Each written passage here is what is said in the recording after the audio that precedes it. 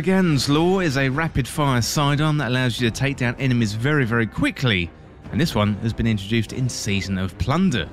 Well, today I'm going to have a closer look at the stats and the perks and the god rolls to chase for PvE and PvP, plus also have a look at how to get Brigand's Law in Destiny 2.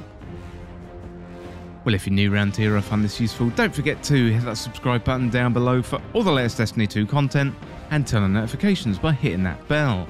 And roughly 98% of viewers who watch this week in video games aren't subscribed, so subscribe today and never miss an update. Well, first of all, let's have a look at how to get Brigand's Law.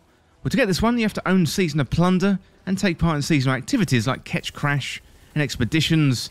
So, Brigand's Law is a potential reward for these activities, and you can also focus Umbral Engrams at the helm via the star chart to get Brigand's Law, although you'll need to upgrade the star chart first.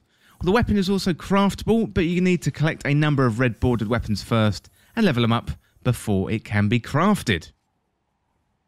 Well, let's have a closer look at Brigand's Law. So it's a legendary energy sidearm with a rapid fire frame, meaning the weapon fires in full auto mode, and you got deeper ammo reserves and slightly faster reload when the magazine is empty. Looking at the stats, got 35 for impact, 20 for range, 63 for stability, 51 for handling, 41 for reload speed. It's a 450 rounds per minute sidearm with 15 in the magazine. Well, Brigand's Law does have a smaller magazine than most sidearms, but the rapid fire frame nature of the weapon does make it a viable choice in both PvE and also PvP. Ideally, you don't want to be too far from your target when you pull the trigger, as this thing really lets rip with its bullets, taking down enemies with a quick time to kill for a sidearm.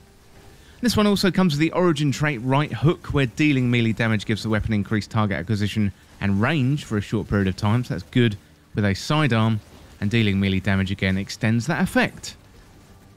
Well, next up, let's have a look at the Brigand's Law Godroll Guide. So for PvE, Corkscrew Rifling, Tactical Mag, Feeding Frenzy and Surrounded would be a decent roll. So for Corkscrew Rifling, slightly increase the range and stability and slightly increase the handling speed. Then you've got Tactical mags for slightly increased stability, increased reload speed and slightly increases magazine size. Then you've got Feeding Frenzy, so each rapid kill with a weapon progressively increases the reload speed for a short time. Then you've got surrounded, and the weapon gains bonus damage when three or more enemies are in close proximity. For PvP, on the other hand, Arrowhead Break, Accurized Round, Pugilist, and Volt Shot would be good. So with Arrowhead Break, greatly controls recoil and increases the handling speed. Accurized Rounds increases range. Pugilist, so final blows of the weapon generate melee energy and dealing melee damage briefly improves the weapon's handling. Then you got Volt Shot, so reloading the weapon after hitting a target, overcharge the weapon for a short period of time causing it to jolt on its next hit. Well, let me know in the comments what you think of Brigand's Law, and also let me know your favourite rolls. Well, that is it for this guide for how to get Brigand's Law in Destiny 2, and as always, thank you so much for watching or listening. For more Destiny 2 content like this, hit that subscribe button down below and subscribe to This Week in Video Games. Or you can check me out on Twitter at TWIVG Podcast. If you enjoyed this video, found it useful, liking and sharing the video would really help me out. Otherwise, check out the other videos on the channel. Thanks again, and I'll see you soon.